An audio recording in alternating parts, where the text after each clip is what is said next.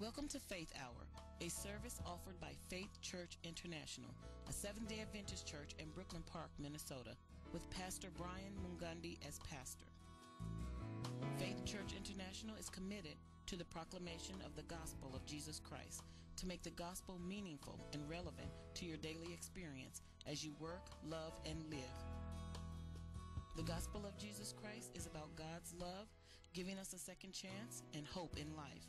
We urge you to accept Jesus Christ as your Savior. Allow Him to be Lord, and you will find new meaning in life. Faith Hour hopes that today's program will help make your days a little bright. God bless you all.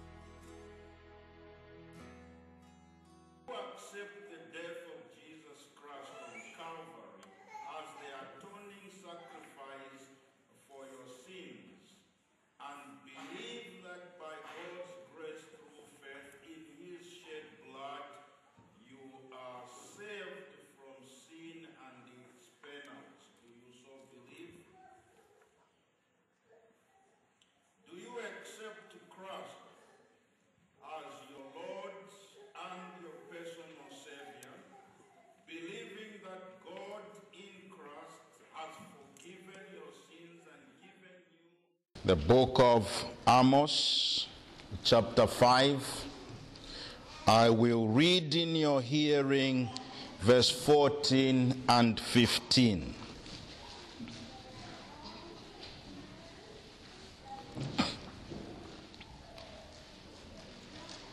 Amos chapter 5, verse 14 and 15.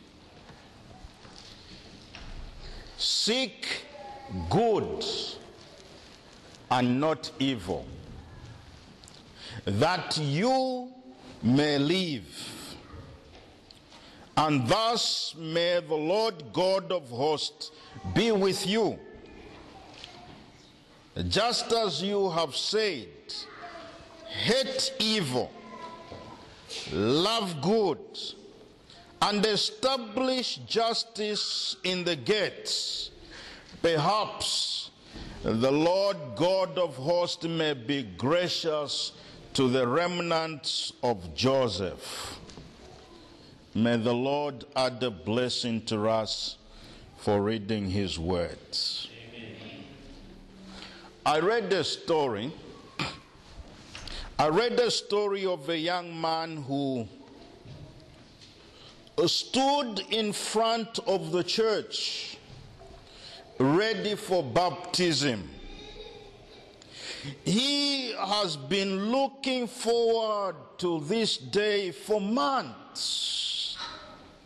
Now the day had come. He stood there in front, ready to take his baptismal vows. He had made a decision for baptism without the help of his family. He, never went to church as a young child. His family was not the kind of family that's a, a God fearing or church going family. And so, as he stood up in front, when the pastor asked the question, Do you renounce the devil and the forces that defy God? The young man shouted, I renounce them. Do you renounce the powers of this world that rebel against God? I renounce them, shouted the young man again. The pastor continued, "Uh, Do you believe in God the Father? And the young man answered and said, I believe in God Almighty, the creator of heaven and earth. You know, this young man's forceful response was a reminder to all that were in church that day that in baptism we seek after good, not evil. My friends, baptism is a daily commitment to seeking good, not evil. Baptism is your lifelong promise that henceforth you will seek after good, not evil. Baptism is a rite of passage, a transition from death into life eternal, from darkness into light, from hopelessness into hopefulness. Baptism is your public confession of the overflow of your faith. Church, I want to tell you that when I was reading this counsel that Amos was giving to Israel, I was moved. You see, the prophet says that those people who seek God's presence are seeking what is good. Uh, uh, those people who seek God's blessings, God's grace will come upon them. Uh, those of you who are getting baptized today, my dear friends, I want to tell you, you are joining a line of people who believe that they cannot be any greater privilege or blessing than to have God on your side. It's a privilege. It's a privilege and a blessing to have God on your side, God watching over you. God guarding you, God keeping you safe and protecting you. What a privilege. Uh, you see, when you get baptized, you are saying you have faith in God. You are expressing your faith to the community. You are saying, My whole heart and my whole body is surrendered to the Lord Jesus Christ. You are promising you are promising that by God's grace you will seek to live right. You want to do good. Church, I am saying it's our privilege as a people to always seek to do good. We should love good. We should share good with others. For this is what God requires of us. Now, now, now, now, now, now, I know, I know that there will be times in this life when we will fall short of the perfection that God is looking for. I know. I know that there will be times in this life that we will mess up and not represent the good that is in God. I know that. Yes, I know that.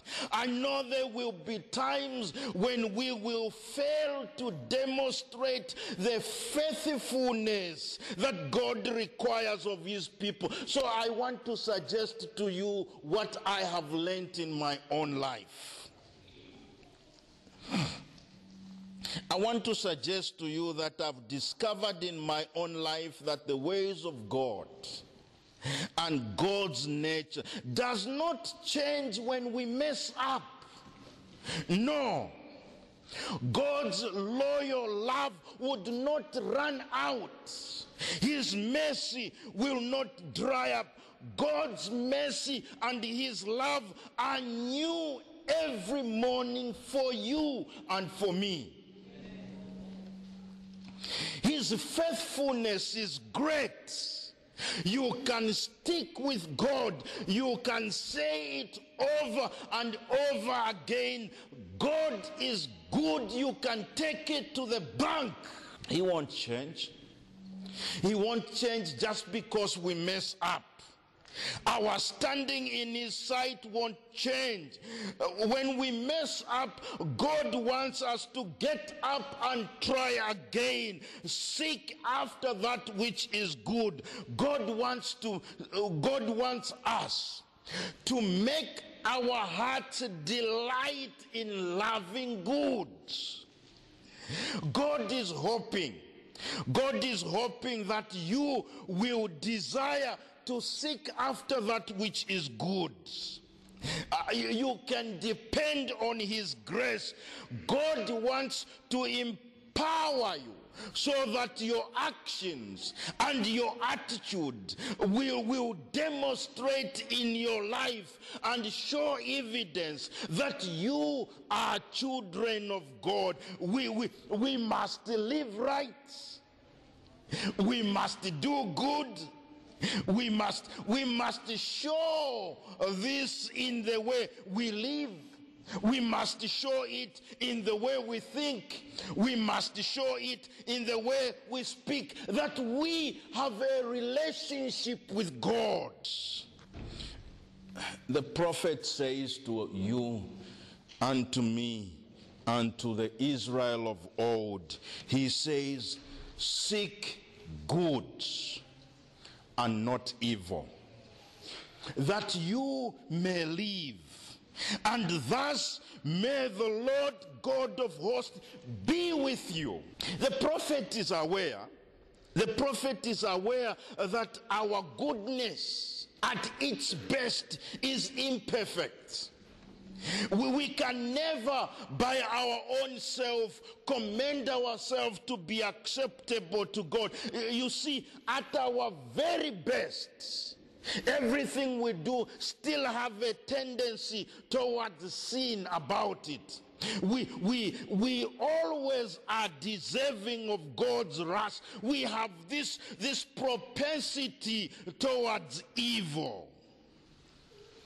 Even the men and women who are, have, have surrendered completely to God, who have committed uh, themselves to God, uh, even those that God has given uh, honor and divine light and power, they still confess of their sinfulness of this nature. They have not put confidence in the flesh. They have claimed the righteousness of Jesus Christ. My friends, the devil will challenge us. The devil will, will, will, bring trials to us. He, he will tempt us. But I want to say to you, hold on to Jesus Christ. That's what the prophet is saying. You see, he says, Seek good and not evil, that you may live. And then he says, And may God, the Lord of hosts, be with you. So I want to say, first, if you are not baptized, please surrender yourself to God and get baptized. What that means is you are turning towards God. You are making the expression of your faith public. You are saying you want to depend on God's mercy all the time. By so doing, you are joining many who are seeking after good. You are joining many who want to acknowledge that they need God's mercy. A church, when we come together every Sabbath uh, uh, as a community of worshippers, We are making confession of the fact that we are still far short of the holiness and goodness of God, and yet we are saying we are determined by God's grace to continue to seek good and not evil so that we may live. When I was studying this passage, I began to notice that the prophet's challenge here to us, his challenge is that we must come to a point in our lives when we realize that God loves all people. But only those that seek after God can experientially benefit from that love. God's love will benefit those that seek good and not evil. The prophet is saying we should seek after God. We, we should seek after God to live.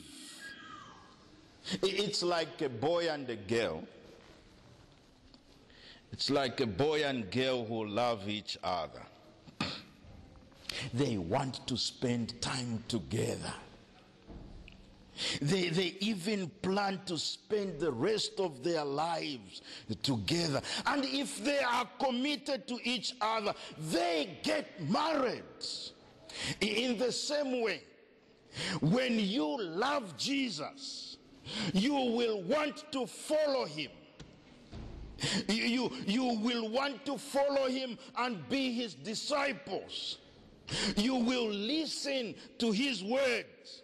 You will want to be in his presence. You will want to fellowship with him. You will want to commit your whole life to him. You will want to sing his praise. So, my friend, if you love Jesus, you need to surrender to him and get baptized.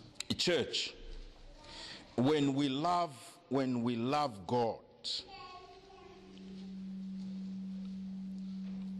we declare our love by baptism. It means we are willing to leave ourselves under the protection of God. It means we are willing to receive God's blessings for our lives. We are willing to allow His perfect righteousness to envelop us. What we are saying when we get baptized is that is that we are allowing Christ to begin to live his life in us. Uh, God, uh, you see, when you get baptized, you are seeking after good because God is the sum total of everything that is good and everything that is righteous. Uh, you see, those of you who have decided to get baptized today, I pray that you would seek God every day. I pray that you would study His words and, and, you will meditate upon it and you will learn to pray and you will become part of the fellowship of believers. Oh, my friend, what a privilege it will be for you because God is gracious and merciful. I believe that God is always ready to bless. I believe that God will not force his blessings on those that refuse to turn to him. They, there must be genuine signs in your life for repentance. And when there is genuine seeking after good, God's grace will respond to you in mercy. So, can I tell you? Can I tell you that the Greek word Baptizo is used in the New Testament to denote baptism by immersion underwater. The Bible teaches that baptism by immersion is a biblical ordinance. John says in John chapter 3, he says, unless a man is born of water, meaning by baptism underwater, and by the Spirit, meaning the renewal of the Spirit of God in your life, that man cannot enter the kingdom of God. Friends, biblical baptism by immersion is essential and necessary for any individual to become a member of God's visible remnant church and become part of God's kingdom. In the New Testament, the Bible points out that all believers must follow the example of the Savior by being baptized by immersion underwater.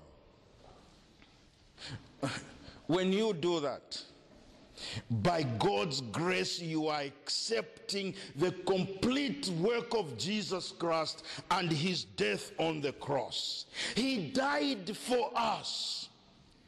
He died so that we can receive mercy. He died so that our sins can be washed away by his shed blood. That's why I'm saying to you, church, biblical baptism by immersion underwater is important. It's your act of acceptance. You are accepting by faith your death with Christ. You are accepting by faith your resurrection in the new life with Christ. You see, when you surrender to Christ, you are accepting the renewal by the Spirit in your life. When, when your whole body goes underwater in baptism, it symbolizes that you are expressing your desire that no aspect of your life will escape your surrender to Christ. Uh, may I also say to you, baptismal candidates for today, and I will say this to all of us as members that these vows that we just read allows us to make a public stand as a sign that we want to follow the truth so that we can publicly and privately want to demonstrate our acceptance of the, rev- the revelation of God's word. We want to show that the word of God has opened before our eyes a new way of life and new prospects. Uh, when we remind ourselves constantly of these vows, we are saying we now regard our lives, that we are going to live our lives in honor to glorify God. We are no longer afraid to walk this path of life because Christ says, I will be with you always even to the end of the earth. Church, I am saying baptism is your Christian public way of saying, I love God. I now have a new sense of strength to make important decisions of life. I have a sense of peace with God because God has reconciled us to Himself in Jesus Christ. I want to tell you that the moment you believe the gospel, your status change. You are no longer alienated from God by your sins, but you have become a son or a daughter of God. You are now precious in his sight, and you are now a heir to the kingdom that is that Christ is preparing for all those that believe. So I just want to challenge you church. I want to challenge you. Love the Lord your God with all your hearts with all your soul, with all your strength, with all your mind and love your neighbor as yourself. Uh, As your pastor, I want to say to those of you who are getting baptized here today, we will stand together with you. We will help you grow in your faith. We will walk with you as you walk with Jesus Christ. Here in this church, we want to declare our willingness to publicly declare faith in Jesus Christ. We are saying we want to seek good and not evil. We are saying we want to live. We are saying we want to talk about God. We want to we want God to be our best friend. We want to live like people who believe in God so that by God's grace we, we, should, we should allow our lives to demonstrate that we are God's people. People who hate evil and love to do good. We want to work our faith in the public square so that we can be His light. We, we want to represent God as a remnant church and we want to make it known because God is gracious. Can I also say to those of you who are already baptized members of the church, please, please, please remember that as we baptize these men and women, who are the candidates today, they are just making their public expression that they have changed their lives from the old ways to the new ways in Jesus Christ. Yes, yes, they may still smell like the world. They may still talk like the world. They may still dress like the world. They may still speak like the world, but by God's grace, let's support their desire for change. It is a process, it's not instant food. For you and me, those of us who have already been baptized, this is again our opportunity to re express our faith in Jesus Christ. So, church, as we accept these men and women that are being baptized into the fellowship, let's affirm them. Let's encourage them in their expression of faith. We should stand by faith together. We should acknowledge salvation together.